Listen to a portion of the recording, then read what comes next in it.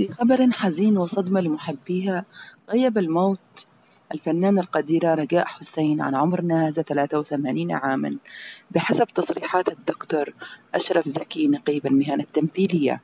وقد حضر نقيب المهن التمثيلية الدكتور أشرف زكي إلى مسجد الشرطة من أجل المشاركة في صلاة الجنازة على جثمان الراحلة رجاء حسين والتي وافتها المنية فجر اليوم 9 أغسطس.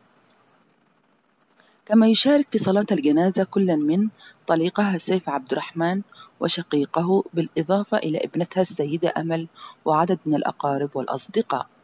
وبدأ سيف عبد الرحمن حزينا للغاية على وفاة زوجته السابقة. بعد أن فارقت الحياة فجر اليوم في منزلها بحسب قول أحد الأقارب. والراحلة رجاء حسين من مواليد 1937 بمحافظة القليوبية انضمت إلى فرقة الريحاني عام 1958 لمعت من خلال مشاركتها في أعمال يوسف شاهين. بداية من عودة الابن الضال وتزوجت من الفنان سيف عبد الرحمن وأنجبت دينا وكريم. ومن أبرز أعمالها مارد الجبل لدواعي أمنية اللص والكلاب على باب زويلة أحلام الفتى الطائر ذئاب الجبل المال والبنون زيزينيا الشهد والدموع عايزة أتجوز ريا وسكينة أفواه وأرانب مال ونساء نوارة.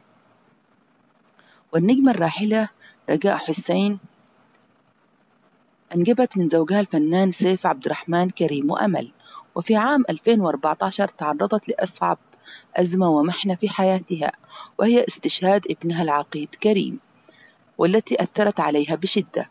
ورغم مرور أعوام على استشهاد ابنها لكنها كانت في حالة حزن دائم وخصوصا عندما تأتي سيرته تبكي في كثير من الأحيان. وقالت من قبل في أحد اللقاءات التلفزيونية استشهاد ابني أثر على حياتي كلها. مؤكدة أن وزنها انخفض كثيرا من كثرة التفكير في الشهيد. وقالت في تصريح آخر كنت أنتظر نجلي يحملني للدار الآخرة ولكنه سبقني وحملته.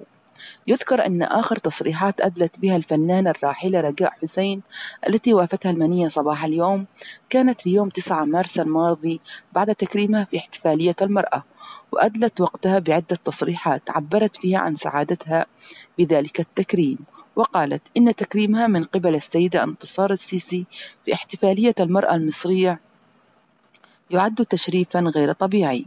متابعة أنا عاوزة أي حد يجي مكتبة التكريمات اللي عندي. لكن كلهم في كوم والتكريم ده كوم تاني. أنا ما نمتش من امبارح. رحم الله الفقيدة وأسكنها فسيح جناته.